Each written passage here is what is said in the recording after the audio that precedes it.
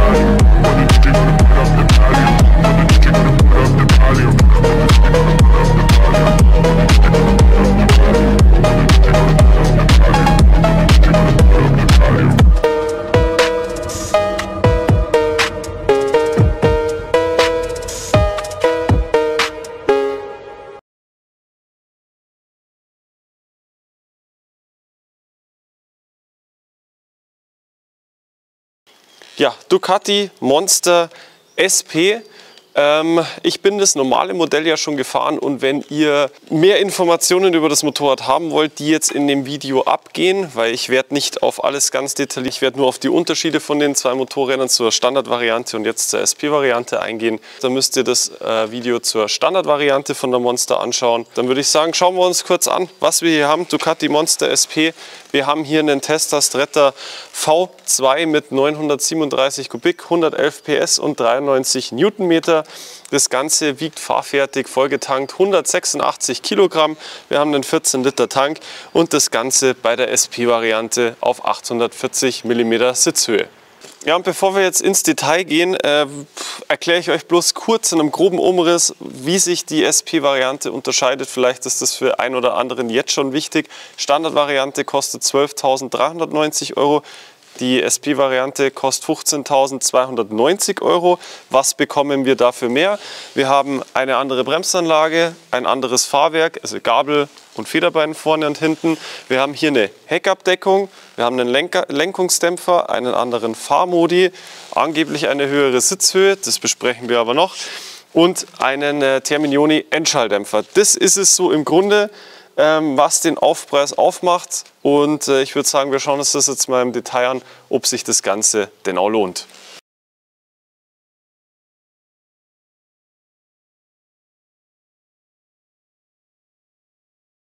So, und dann schauen wir uns noch die Armaturen an.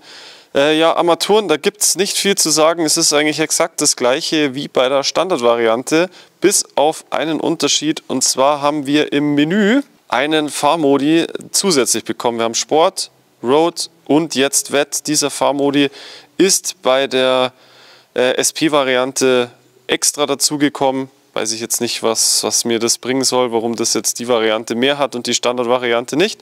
Alles in allem ist äh, das Menü und der Display, wie ich schon bei der Standardvariante erwähnt habe, wirklich alles sehr intuitiv bedienen, schaut super cool aus und ähm, ist wirklich super ablesbar. Also da gibt es keinen Grund.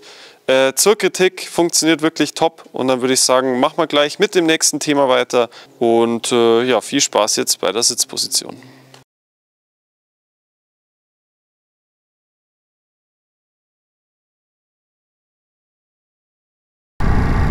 Ja, dann äh, Sitzposition bei der SP-Variante der Monster und äh, witzigerweise laut Heft soll die SP ja ähm, 840 mm haben und die Standardvariante ähm, 820, das heißt äh, 20 mm mehr.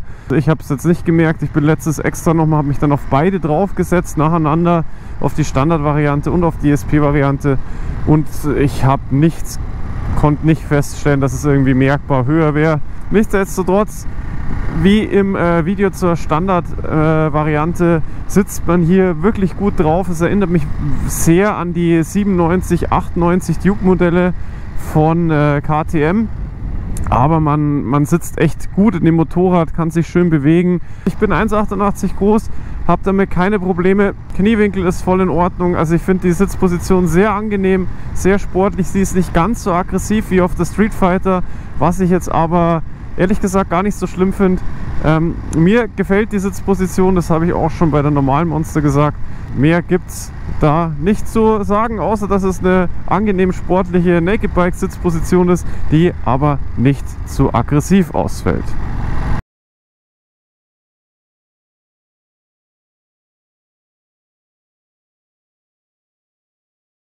Ja, dann sehen wir hier das Aggregat der Ducati Monster SP. Das ist wie gesagt der altbekannte Tester Stretta V2 mit äh, eben 937 Kubik, 111 PS und 93 Newtonmeter. Ähm, der unterscheidet sich nicht zur normalen Monster. Das einzige, was wir jetzt hier zusätzlich bekommen haben, das ist hier nämlich der Endschalldämpfer von Terminioni und äh, ja, schaut cool aus mit den Carbon-Kappen. Ob der mehr Sound macht, das schauen wir uns jetzt beim Fahren an. Und dann würde ich sagen, springen wir aufs Motorrad.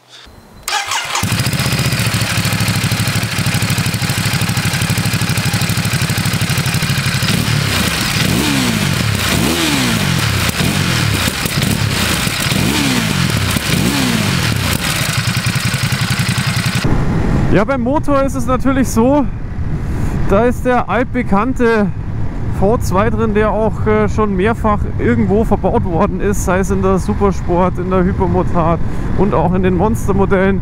Ähm, motortechnisch unterscheidet sich der Motor auf gar keinen Fall ähm, von, der, von der normalen Monster. Also es ist wirklich exakt das gleiche.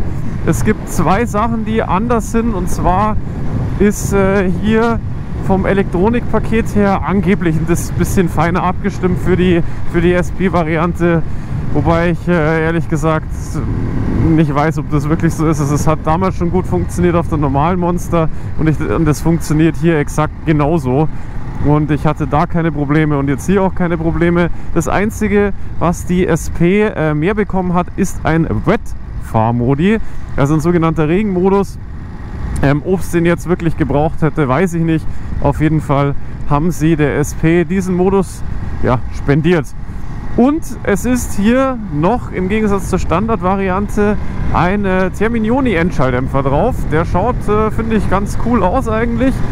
Ähm, und jetzt fragt man sich natürlich, was bringt einem der Schalldämpfer außer mehr Klang? Und das ist ja eben das, so viel mehr Klang bringt er gar nicht. Also ich ich würde behaupten, dass der Unterschied marginal ist. Mir ist jetzt kein wirklich großer Unterschied aufgefallen, wenn ich ehrlich bin. Also es ist wirklich äh, ja, quasi nicht vorhanden. Das Einzige, wo man es mal ein bisschen merkt, ist beim Runterschalten jetzt mit der Thermianlage, wenn du bis in den ersten Gang mit Quickshifter runtergehst, dann frötzelt sie echt richtig krass nach. Das hört sich auch richtig gut an. Aber das ist auch wirklich der einzige Unterschied, den ich irgendwie so ausmachen konnte. Sonst sind die Abgasanlagen ist da wirklich nur ein marginaler Unterschied. Aber der Auspuff ist dran und hat eine bisschen coolere Optik. Und dann äh, finde ich das auch in Ordnung. Aber Sound äh, braucht man sich da jetzt nicht mehr erwarten. Alles in allem, wie schon auch im, im, im Video zur Standardvariante gesagt, der Motor funktioniert astrein, hat echt gut Drehmoment, hat gut Punch, äh, schiebt, schiebt gut an. Also die 111 PS gehen echt richtig, richtig gut. Mehr braucht es meines Erachtens auch nicht auf der Landstraße. Der Quickshifter ist ein absoluter Traum. Ähm, das Einzige, von der Laufruhe her kann er jetzt zum Beispiel äh, mit dem Parallel-Zweizylinder von KTM oder so nicht mithalten, was ich aber jetzt äh, gar nicht so tragisch finde. Ich bin immer noch der Meinung, dass das Motorrad ein bisschen mehr Sound vertragen hätte können, jetzt auch gerade noch in der SP-Variante. Die haben jetzt den anderen Auspuff dran, aber so richtig viel, die, die Kuppe ist sogar, uh, so richtig viel bringt einem das nicht. Also da hätte, finde ich, gerade bei der SP im Sportmodus noch ein bisschen mehr Krawall sein dürfen, weil das Motorrad wirklich alles andere als laut ist. Von daher hätte es schon noch ein bisschen mehr sein können.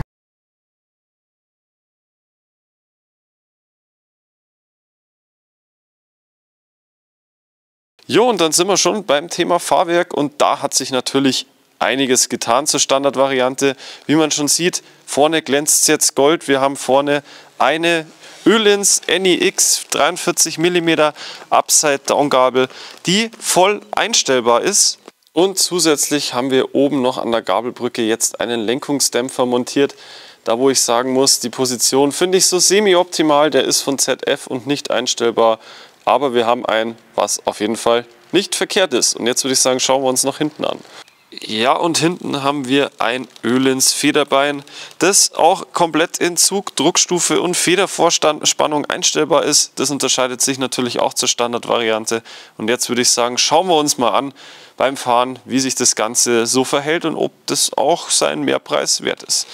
Ja, und nachdem wir jetzt den Unterschied beim Fahrwerk gesehen haben, stellt sich natürlich die Frage, merkt man den auch beim Fahren? Und ich muss ehrlich sagen, dass äh, den Unterschied habe ich schon nach den ersten 100 Metern feststellen können, weil das Fahrwerk einfach äh, ganz anders anspricht wie in der Standardvariante.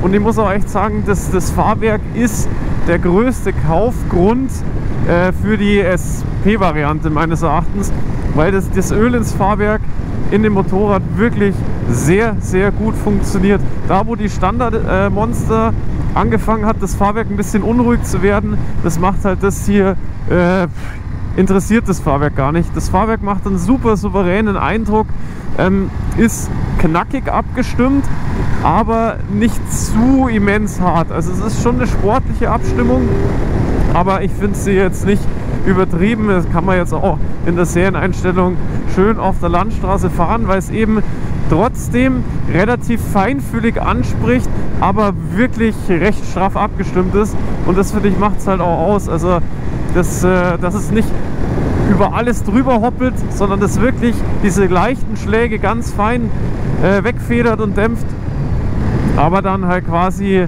gute Straffheit bietet. Boah, die, also das Eck hier ist echt oi, oi, oi, sau eng. Hilft dem Motorrad sehr. Das Serienfahrwerk war auf gar keinen Fall jetzt oberschlecht. Äh, damit konnte man wirklich gut fahren, aber für alle Leute, die sportlicher unterwegs oder sehr sportlich unterwegs sind, äh, macht das Öl ins Fahrwerk, äh, finde ich auf jeden Fall Sinn, weil das echt ja, eine, eine krasse Souveränität in das, in das Motorrad reinbringt und, und dem Motorrad echt gut tut. Also das, was mir so ein bisschen an der Standardvariante gefehlt hat, ist, glaube ich, macht das Fahrwerk wirklich, äh, wirklich wett, weil das echt saugut funktioniert. Und die hier zum Beispiel, die Straße ist wirklich alles andere als gut vom Zustand und auch von, von den Bodenwellen und das äh, schluckt das Fahrwerk so gut weg. Also das ist wirklich, macht wirklich sehr, sehr viel Spaß.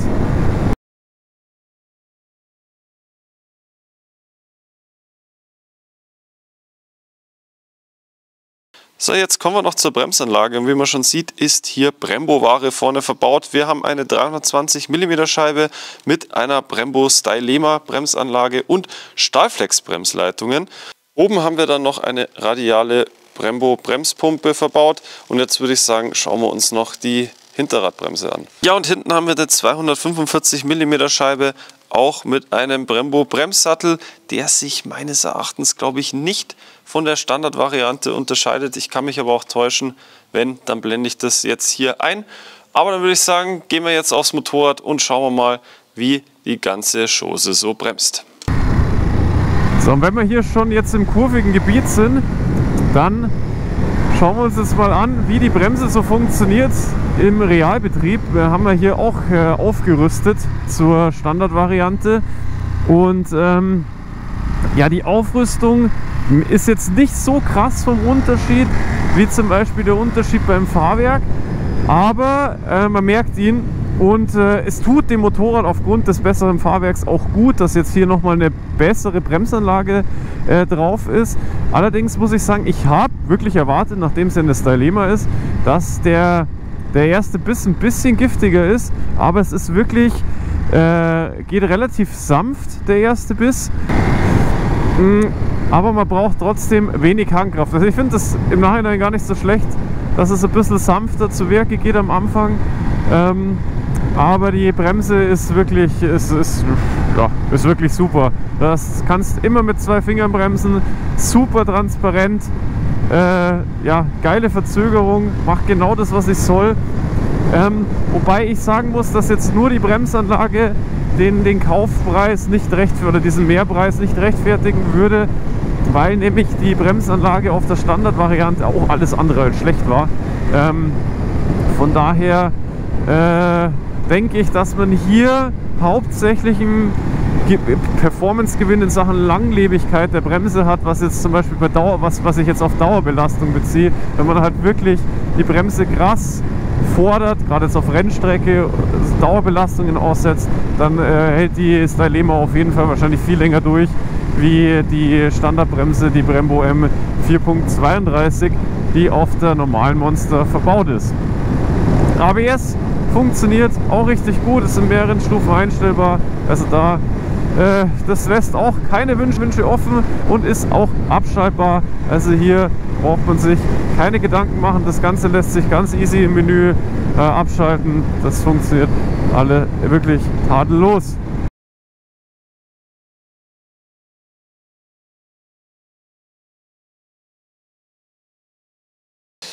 Ja, dann kommen wir zum Fazit. Und äh, man darf halt äh, nicht vergessen, dass dieses Motorrad äh, knappe 3000 Euro mehr kostet als die Standardvariante. Und man muss sich da wirklich äh, Gedanken machen, ob einem das Ganze jetzt Mehrwert ist, bessere Bremsen, besseres Fahrwerk, hier einen Terminioni-Auspuff dran zu haben, einen Lenkungsdämpfer. Und ähm, wenn einem das das wert ist, dann auf jeden Fall. Jetzt äh, ist natürlich die Frage, für wen macht das Sinn, für wen macht es keinen Sinn. Oder ist es sogar besser wie die Street Fighter V2? Die Frage habe ich, mich auch, habe ich mir auch gestellt. Und zwar würde ich sagen, dass äh, 80 Prozent der Ducati Monster-Käufer wahrscheinlich die SP-Variante gar nicht brauchen, weil die mit der Standard-Variante so zufrieden sind und die alles abdeckt. Ähm, für Leute, die sehr sportlich unterwegs sein möchten, finde ich, macht die SP-Variante auf jeden Fall Sinn, denn man hat ein einstellbares Fahrwerk das nebenbei halt auch super gut funktioniert, das muss man wirklich sagen.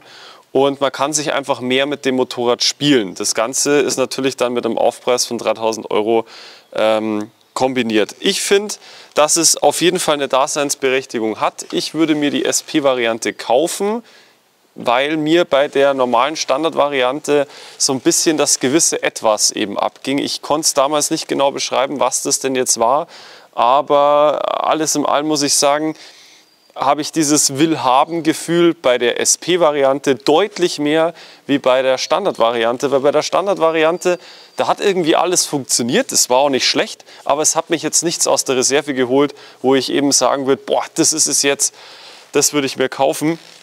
Und ähm, das ist halt hier eben schon der Fall. Also da muss ich sagen, das Fahrwerk in Kombination mit dem Handling, was ich ja damals schon bei der bei der Standardvariante angesprochen habe, dass das so gut ist, das ist halt hier jetzt nochmal, jetzt, jetzt kommen wir in den Punkt, wo ich sage, jetzt wird es richtig geil, weil das hier halt alles wegbügelt, es funktioniert super gut.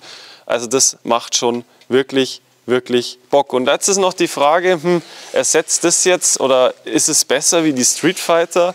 Und das würde ich mit einem klaren Jein beantworten, denn ähm, die Geometrien der zwei Motorräder und die, die Art, wie sich die Motorräder fahren, sind grundverschieden. Die Monster hat mehr Druck aus dem Keller, die, die Street Fighter halt erst wirklich oben raus. Die Sitzposition bei der Street Fighter ist aggressiver ähm, wie bei der Monster. Ich ehrlich gesagt wüsste es nicht, für was ich mich entscheiden müsste. Ich glaube aber, wenn ich jetzt heute im Anbetracht auch der Kosten mich für eins der zwei Motorräder entscheiden müsste, sei es jetzt Street Fighter V2 oder die, ähm, die Monster. Ich glaube, ich würde mich fast für die Monster entscheiden, weil das Ding wirklich so unmenschlich gut fährt, gerade die SP-Variante jetzt, und ich diese mehr Spitzenleistung nicht brauche. Ich habe lieber mehr Bums im Keller. Also würde ich mich wahrscheinlich für die SP-Variante von der Monster entscheiden, anstatt für die Street Fighter V2, zumal sie dann auch noch günstiger ist. Ja, so viel zum Thema Ducati Monster SP. Optik natürlich ein Highlight. Und äh, ja, ihr schreibt mal in die Kommentare, was ihr von der SP-Variante haltet. Und dann würde ich sagen, sehen wir uns hoffentlich bald wieder in einem neuen Video. Danke fürs Zuschauen. Servus.